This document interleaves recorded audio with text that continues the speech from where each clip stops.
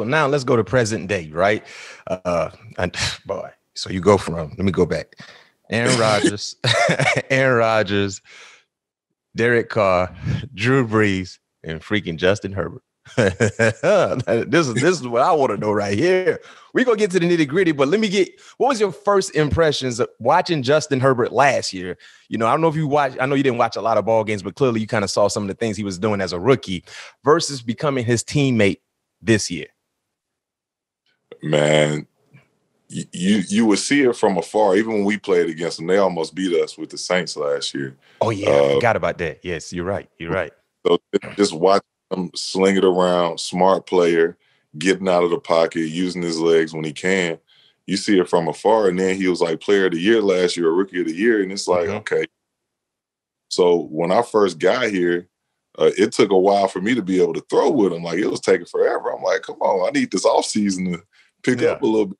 We weren't throwing it all. You know how it used to be. Mm-hmm. And, um, just seeing him in person, seeing him in this offense, he throw the ball hard. He can sling the rock.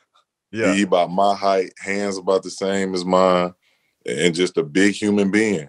Yeah. Which is his speed, how he's able to stand in the pocket so strong. And uh, him learning this offense and being part of his offense, um, I think is going to take him to the next level. He's getting it down. He's a smart quarterback.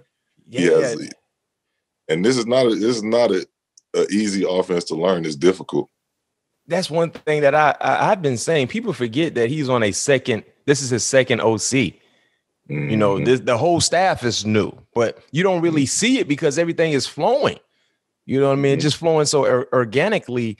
And man, he is special. We talked about two great ones, two two all-time greats in Drew Brees and Aaron Rodgers. What is, what sort of traits does Herbert possesses that he possessed that could make him a great and potentially in the same category as those two players that we talked about in Aaron Rodgers and Drew Brees from the trait standpoint? He um he studies the game and he actually understands the game and he's a gamer. Um and a, a, lot of times you don't find that in guys, guys that actually understand and that can go out there and produce it at such an early age. It usually mm-hmm. takes years and and years of studying and understanding offenses for young quarterbacks to be able to do that. But he's come in, he's learned this new system, uh, and, and, kind of on a short off season, if you think about it. But he's able to learn this new system and go out there and implement it against hard teams, mm-hmm. like easy teams that we're playing. These have all been five hard games. Even uh, yesterday, you saw how he just stayed with it. Yo. He was able us to the right plays, the right checks, and be able to put up that many points when we knew we had to. You had to. Yeah, it was hard yeah. to do, and he was able to march us down the field every time, check us to the right plays, and get us in and out of the right situations when we needed. Speaking of that game yesterday, one of the more entertaining games I've seen in a long time, clearly so far this season. But one thing that I I see that tells us the staff, Coach Staley, they all trust Herbert so much. It's almost like Staley's playing video games, like he playing Madden. You go for it all the time on fourth down. We saw mm-hmm. it last Monday against the Raiders, and you mm-hmm. were the recipient on a, quite a few of those fourth down receptions, by the way. That was big time. But we saw this past Sunday against the Browns. Talk about the trust this staff has in the young quarterback Justin Herbert to be like, you know what, we're almost midfield. We're on our side of the ter- on, on our side of 50, but we're gonna go for it. It's fourth and three, fourth and four. It don't matter. We got Herbert. Let's go dial it up. Talk about the trust they have in him.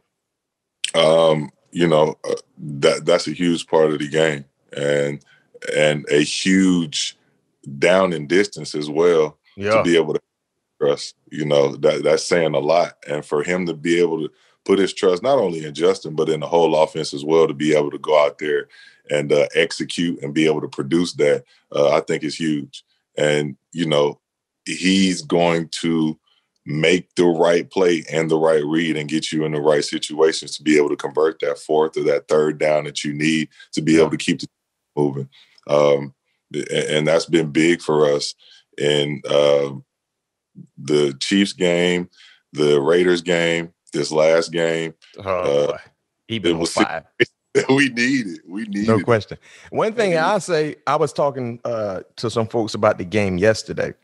I say, if you look at the Chargers offensively, they score 40 plus points. But the way he was distributing the football, they have so many quality pass catch catchers on this team, not to mention Austin Ekeler, that they have a unique stable of guys that can any given day take it over. Because Monday night, it was your night. You know what I'm mm-hmm. saying? Yeah. This past Sunday, you didn't really get a lot of looks. I don't know if you know they're starting to kind of cloud you a little bit in certain situations. You know better than I do. But then you mm-hmm. saw Mike Williams take over. Now remember, Mike Williams last Monday night didn't really have a huge say so in the ball game. So you guys mm-hmm. have so many different, you know, Ferraris and Lamborghinis for one of the best car uh, race car drivers in the game to be able to jump in and, and do damage that is is is scary for def- defense. Honestly, I mean, where's the confidence level right now with your offense? Man, when we first got in the huddle in OTAs, Keenan looked around the huddle and he was said exactly what you said. He was like, "It's scary." And we was like in twelve personnel, mm-hmm. and he was like, "Scary in here." Cause you got me, you got Mike, you got Keenan, you got Eck, you yeah. got Donald. And when we all in the huddle, like we all big and we play big. No question. So like Ekeler's been a huge part of the pass game as well, being able to catch and be so versatile out of the backfield, which is the same role kind of that you saw Alvin Kamara in last year. No question. Yeah. So look around our huddle, we have an all-time confidence that we can go out there and get the job done because there's so many different uh, weapons of versatility that we have in that huddle. Guys that can do pretty much play every position out there. Hey, y'all dialing it up and you're showing it. You definitely are showing it, man. It's and it's it's fun for me to watch on my couch. I know it might not be that fun trying to cover, but for me watching from the from the living room from wherever I'm watching, man, I that game yesterday, boy, it was going yeah. back and forth. I said, man, unfortunately, I was playing against Mike Williams in fantasy, and I was playing against Austin Ekeler, so it didn't do too yeah. well for me fantasy related. But I'm happy you guys won, no question, because you on the team, and I and I want to see you go get to that championship. Oh, by the way, that is in SoFi Stadium. Oh, yeah. Trying to get me one like you, my boy. No question, no question. You deserve it. hey, hey, if you look at the course of your your career, the best accolades happen towards the end of your career. You went year eight for playoffs, 10 for Pro Bowl. You'd already know what's next. Let's go get it, man. No question, no question. That's what you already know what next. The trajectory of your uh, your career. It says you should be getting ready to play in a championship. That's it. And, and and I can tell you this much. Last question regarding Justin Herbert. You know, they had some questions regarding his leadership abilities, leadership skills coming out of Oregon.